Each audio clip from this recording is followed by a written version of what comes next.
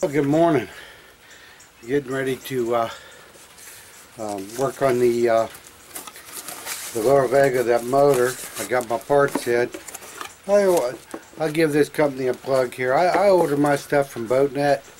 I like that. I order it offline because when you go on their website, you can look up your exact model and it gives you a total breakdown of every single part in it. Here's my exhaust gasket I got and uh, and this is uh, I ordered this new impeller and we're gonna put that in this morning and I'll show you how we do that. On uh, when I pulled that motor apart I videoed everything except unhooking the shifting rod so I'll make sure that I add that to it when I uh, put it back together so you can see exactly how I did it. So let's get started His hand.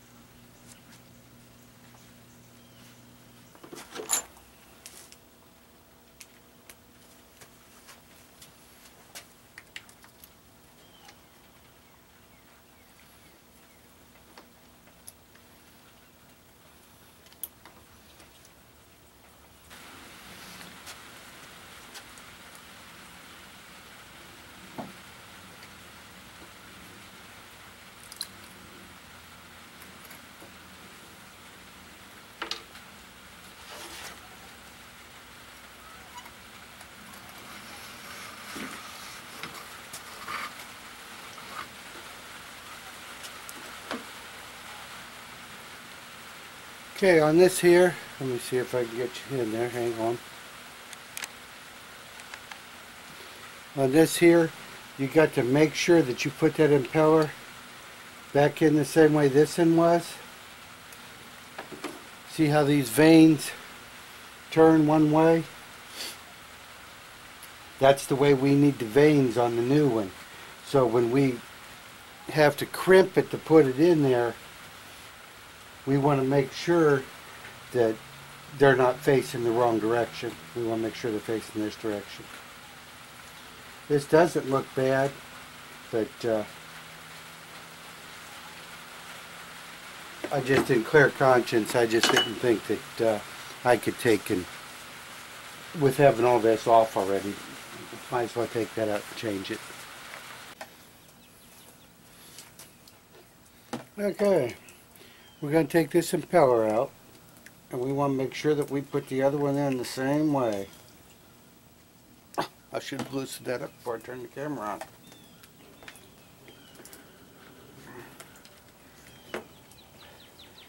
Okay, you can see how this one is, how the fins are bent.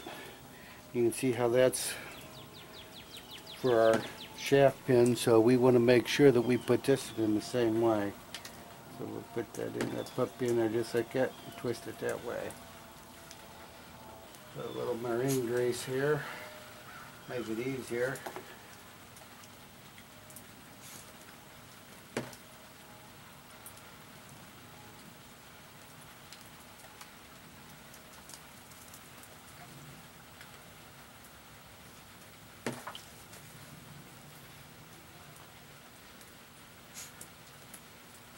So we want to turn that clockwise. Was on the motor.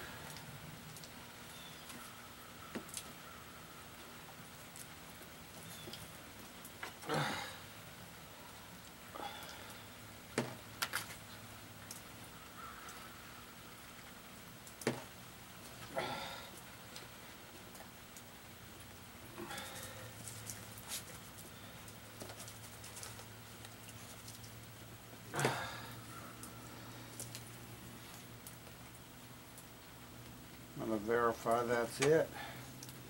That looks just like the old one. Let's see, I don't know if you can see that, but that's in there. Same notch I got for the shaft.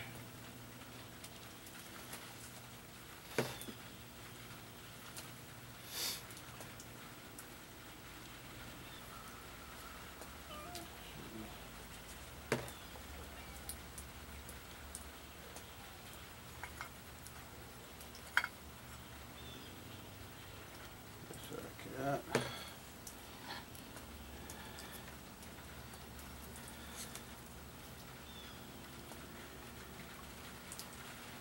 Alrighty. There it is. Okay, I've slipped the gasket back on. Next thing, I'm gonna slide this plate down.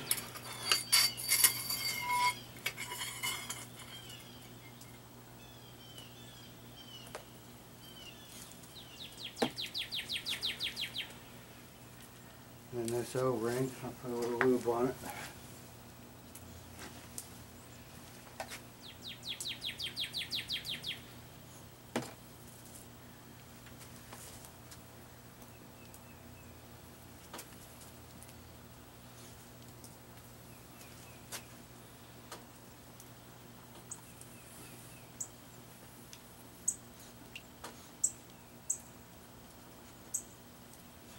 Looks like my seal's leaking a little bit here.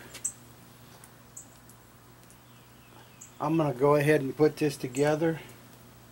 So, but, cause I don't, I don't have another one, but I'll be ordering one.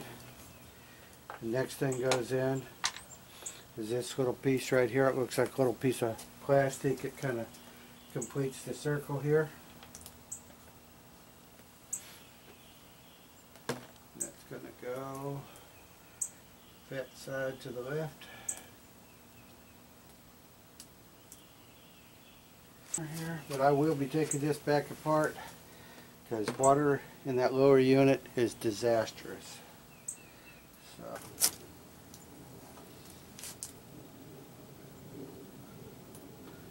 Should be like that.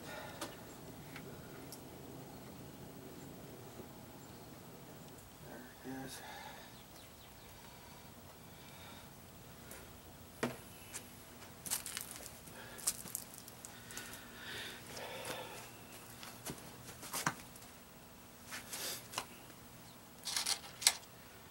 Like I said, I, I will be pulling this back down because that'll destroy that lower unit if it gets water in it.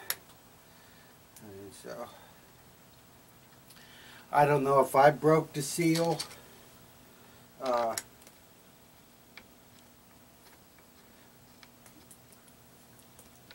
not being careful with the the uh, shaft here or what, but don't matter how why it's leaking, it's leaking.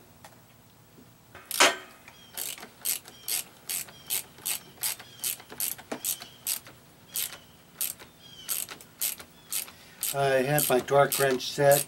It said these are set between one, or no, between 60 and it- I believe it was 82 inch pounds. I was going to torque this in, but I'm just running these up right now.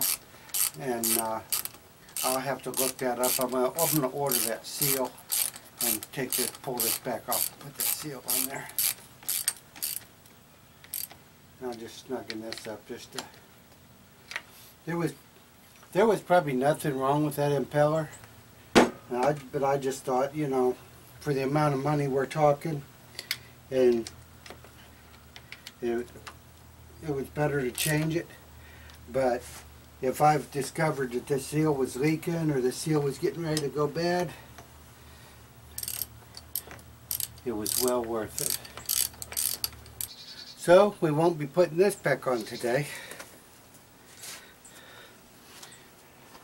But we got a little bit before I'm ready to take the big boat out.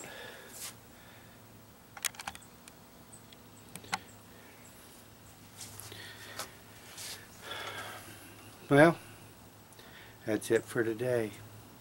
I'm probably down for the count because I don't have another seal. But uh,